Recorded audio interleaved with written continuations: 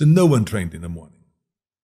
People went to work in the morning. No one trained, except students came in and military people that were stationed, American military people that were stationed outside of Munich in a military base. They came in in the morning at 10 o'clock or so.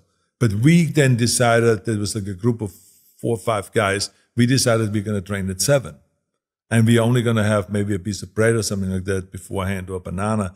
But then we trained. And then after that, we had breakfast. So this became kind of the routine.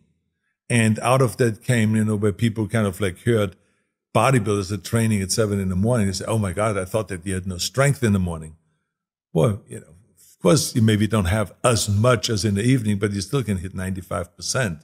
And it's, yet it is more difficult to do squats in the morning and deadlift in the morning at that early. But you just know that when you then have a competition, uh, at five in the afternoon, that you're much stronger and you can lift much more.